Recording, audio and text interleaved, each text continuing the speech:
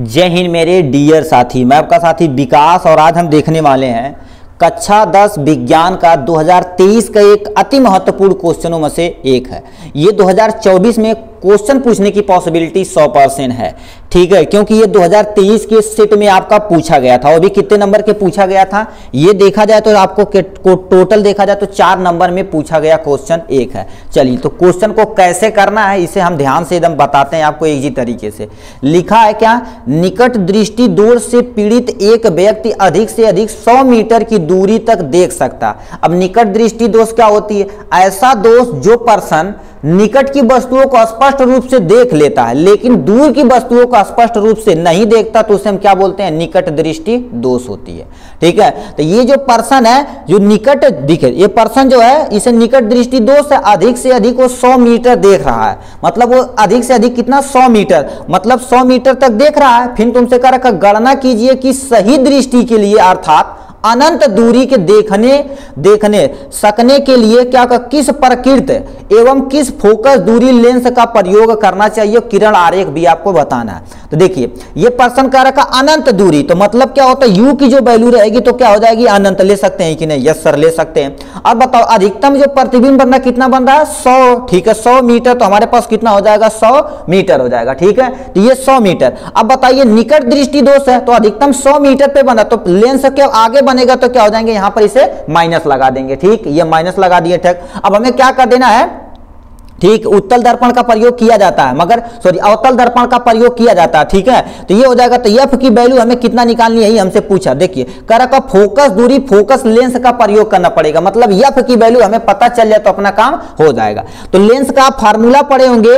Lens के लिए क्या फार्मूला होता है? लेंस के लिए फार्मूला होता है एक बटे एफ़ बराबर में क्या होता है? एक बटे वी माइनस एक बटे में यू होता है। ये आपके पास क्या होता है? फार्मूला होता है, जो सामने यहाँ से दिया रहा है। अब जो जो वैल्यू दिया, इसमें पुटअप जब करेंगे एफ़ की वैल्यू आपकी सन्न से आ जाएगी। तो हम क्या कर देते हैं, एक बटे एफ़ बराबर एक बटे वी। वी की वैल्यू कितना दे रखा? माइनस सौ दे रखा। कितना दे रखा? माइनस सौ।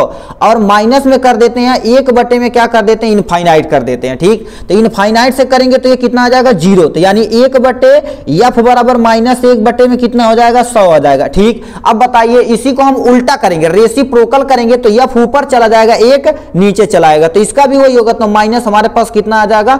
सौ मीटर मतलब हम 100 मीटर की यदि फोकस लेंथ का प्रयोग करें तो उस पर्सन को स्पष्ट रूप से दिखाई देगा। तो यहाँ पर लिखेंगे क्या?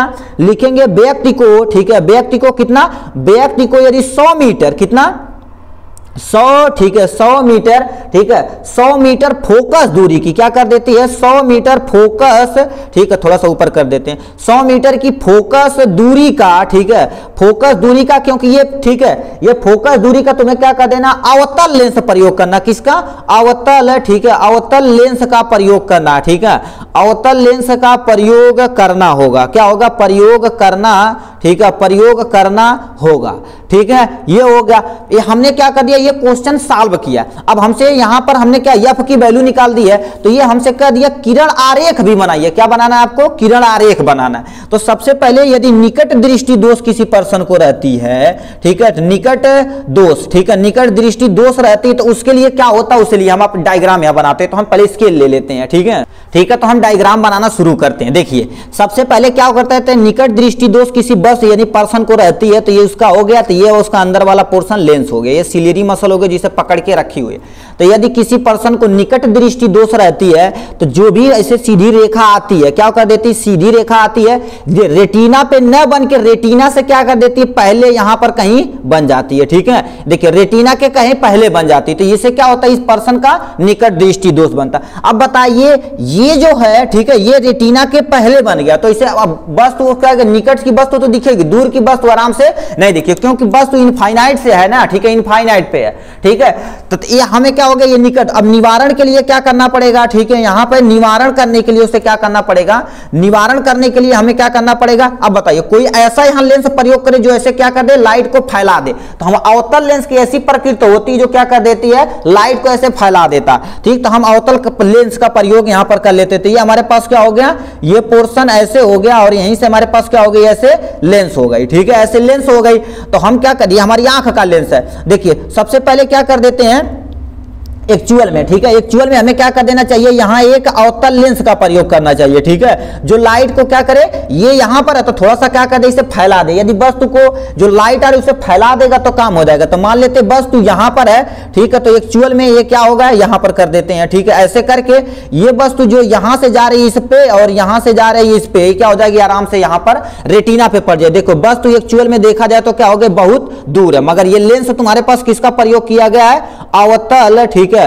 अवतल लेंस का प्रयोग किया गया। किसका प्रयोग किया गया है? अवतल लेंस का प्रयोग किया गया। तो ये आपका क्या होगा? रेटिना पे बढ़ेगा जिससे स्पष्ट रूप से उसे क्या करेगी? वस्तु को दिखाई देगी। तो ये था 2023 का एक प्यारा सा क्वेश्चन आशा करते हैं आपको वीडियो पसंद आएगा यदि वीडियो पसंद आएगा तो लाइक और सब्सक्राइब ठोंक कर करिएगा। फिर मिलेंगे नेक्स्ट वीडियो में नेक्स्ट टॉपिक के साथ। तब तक के लिए बाय बाय यहाँ से आप स्क्रीन भी ले सकते हैं। एक बार इसे यहाँ ले लीजिए, फिर इसका क्या करिए? सोल्यूशन जो नीचे दिया है, यहाँ ले लीजिए। ठीक? ऑल द वेरी बेस्ट दोस्तों।